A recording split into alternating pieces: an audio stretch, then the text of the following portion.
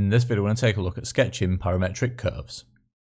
Now, many of the parametric curves that you'll get at A-level maths are curves that you will not easily recognise. And for that reason, it makes it difficult to sketch these parametric curves. However, by substituting values of t that cover the domain of t into each equation, then we can easily sketch any of these curves. So for example, you might have x equals, say, 2t. You might have y equals, say, 4t. And then you'd have a domain here for t. So for example, t is between minus 3 and 3. And what we'd do then is we'd set up a table here. So we'd have these values of t. So from minus 3 to 3. And then we'd have x equals 2t and y equals 4t. And what we'd do is we'd just substitute the values from minus 3 to 3, obtain those values for x and y, and then we just plot those points. Okay, that's one way that we can easily sketch parametric curves. So that's everything that we need here for our introduction. Let's take a look now at a couple of practice questions here for sketching parametric curves. Starting off here then with question 1, we've been given the curve C, which has parametric equations of x equals t plus 1 and y equals t squared plus 2. And we can also see the given domain here for t. So for the first part here, we're asked to find a Cartesian equation of the curve C in the form y equals f of x. So where do we begin here?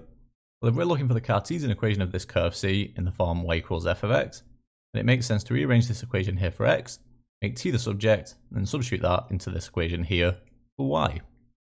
So let's just begin here by writing down these parametric equations. So x equal to t plus 1, and y is equal to t squared plus 2. So like we said, we're going to rearrange this here and make t the subject. In that case then, nice and straightforward here, t would be equal to x minus 1. And we're going to substitute this here into this equation for y.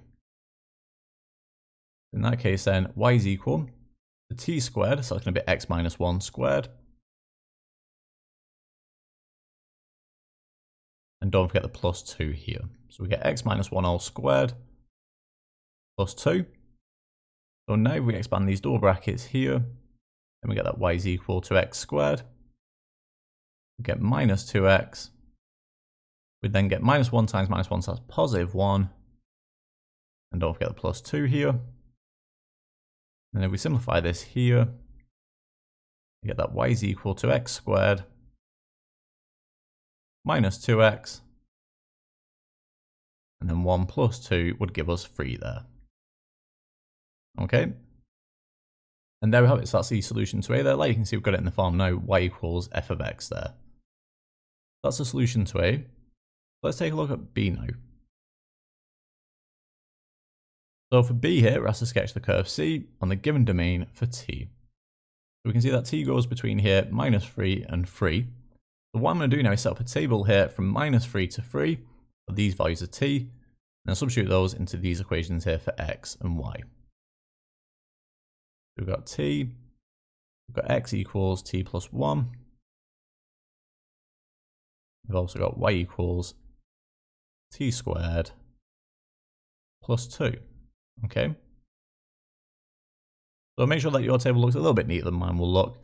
Um, let's just start here by writing down the values of t. So we've got minus 3, minus 2, minus 1, 0, and then we've got 1, 2, and 3. Okay, these are my values of t here. When x equal to t plus 1, that's going to be minus 3 plus 1, so it'll be minus 2. When x, oh sorry, when t is minus 2, x equal to minus 2 plus 1, that'll be minus 1. You can see what the pattern's going to be here. When t is minus 1, minus 1 plus 1 is 0. So this is just increasing by 1 here. Minus 2 minus 1, 0. So this would be 1, 2, 3, and 4 there. So now we're going to substitute these values of t here into y. So y is equal to t squared plus 2. That's going to be minus 3 squared plus 2, so that's 9 plus 2, giving us 11 there. Now for minus 2 here, so that's going to be minus 2 squared, so that's 4, plus 2 would give us 6 minus 1. So minus 1 squared would be 1 plus a 2 gives us 3. And we just keep going here. So when t is 0, we get 2. When t is 1, we get 3. when t is 2. Substitute that into y equals t squared plus 2, we get 6. And then finally, when t is 3 here, we get 11. Okay? That gives our table of values here.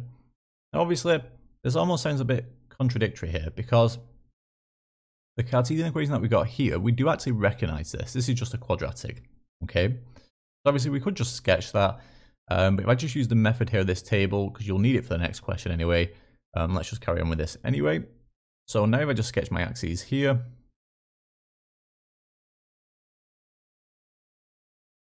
my y-axis here,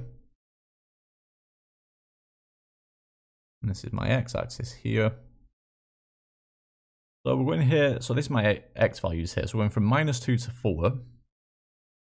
So that's minus 2, minus 1. This would be 0. So we have 1, 2, 3, and 4 here at the very end. And then for the y values here, we're going from, what's our smallest value, 2 here, up to 11. So we'll worry about the y values in a moment. So let's just plot these points here then. So we've got minus 2, 11. So minus 2 and then say up 11. Let's just say that's there. We then got minus 1 here, so that's minus 1, 6. Let's say that's there. We then got 0, 3. 0, 3. Say that's there. We then got 1, 2. Got that there. We then got 2, 3. Then we've got 3, 6. 3, 6. That should obviously be in line with this point here because that also has a height of 6. Uh, it might not be perfect on mine, but this is just a sketch. And then finally we've got 411. So again, 4 units long, and they should be the same height as this point here. Let's say there. Okay. Like we said, we're going to get a, um, a parabola here. This is a quadratic. And obviously we can see from the, the points that we plotted here, we are going to get that quadratic shape. So now if I just join these up here,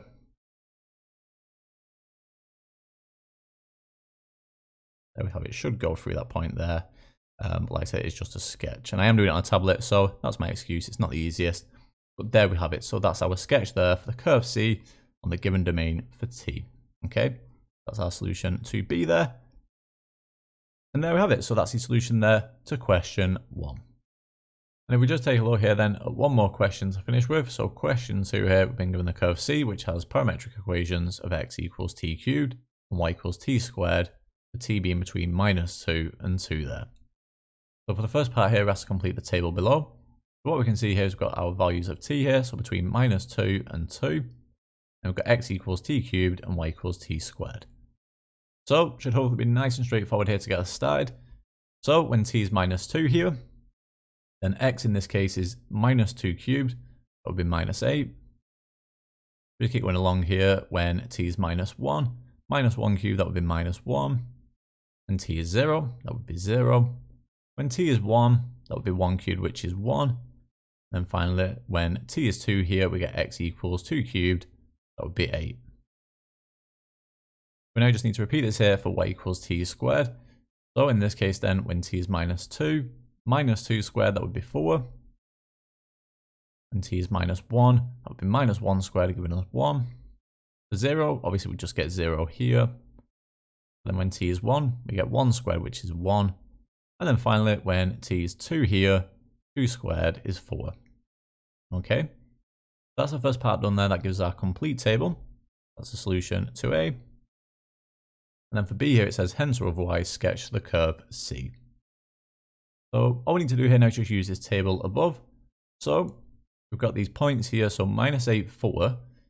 So we're going up in ones here. So minus 5, minus 6, minus 7, minus 8. Then we go up 4, that would be approximately here.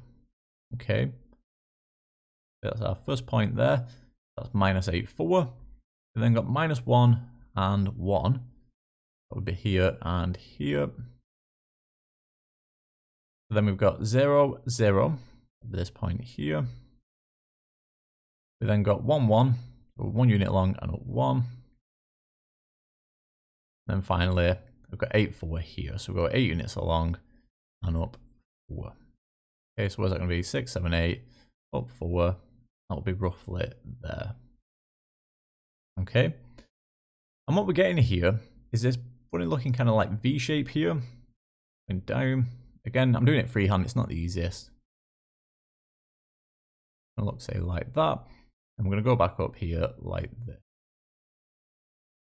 Like so. Okay. And there we have it. So that's a sketch of the curve C there. That gives the solution to B. That gives the solution there to question two. That brings the end of this video on sketching parametric curves. In the next video, we're going to take a look at points of intersections of parametric curves.